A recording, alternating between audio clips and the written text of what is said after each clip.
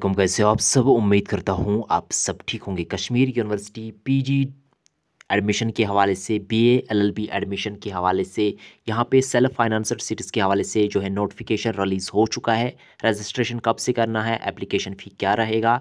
But उससे पहले यहाँ पे दो इंपॉर्टेंट अपडेट्स आए जितने भी candidates Kashmir university main campus, south campus north campus या एफिलेटेड कॉलेज में सिलेक्ट हुए थे सेकंड सिलेक्शन लिस्ट में तो उनके हवाले से यहाँ पे डेट एक्सटेंड किया गया है और जिन्होंने अभी एडमिशन फॉर्मेलिटीज़ कंप्लीट नहीं किए हैं तो कल भी आप जो है एडमिशन फॉर्मेलिटीज़ कंप्लीट कर सकते हैं।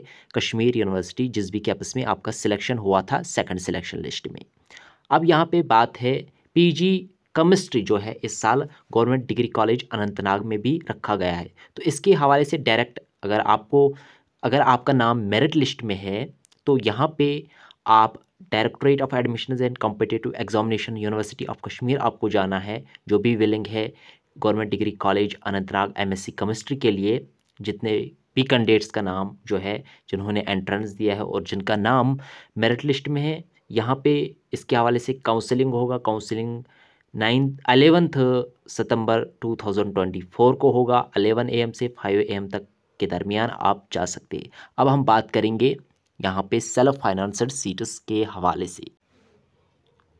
यहाँ पे पीजी यूजी इंटीग्रेटेड कोर्सेज़ के हवाले से सेल्फ फाइनेंसड के जितने भी सीट्स है, चाहे main campus south campus north campus या जितने भी गवर्नमेंट एफिलेटेड कॉलेजेस है प्राइवेट एफिलेटेड कॉलेजेस है, उनके हवाले से जो सेल्फ फाइनेंसड सीट्स है, उनके हवाले से रजिस्ट्रेशन प्रोसेस स्टार्ट हो चुका है।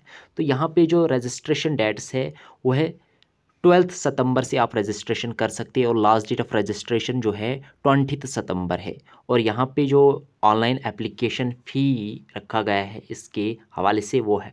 Five hundred rupees application fee है। तो यहाँ पे मैं आपको जानकारी के लिए बताऊँगा जो है ट्वेंटी सितंबर के बाद जो है, ट्वेंटी सितंबर के बाद जो है सेल्फ फाइनेंसर सीट्स का सिलेक्शन लिस्ट निकलेगा। बट इसमें कैटेगरी का बेनिफिट नहीं होता है, जिसके जितने हाई पॉइंट्स होंगे, उसी का यहाँ पे सिलेक्शन होगा। इसके हवाले से अलग से रजिस्ट्रेशन करना होता है। जो ही एप्लीकेशन फॉर्म रिलीज़ होगा ट्वेल्थ सितंबर को, उस दिन मैं आपको जानकारी दूँगा।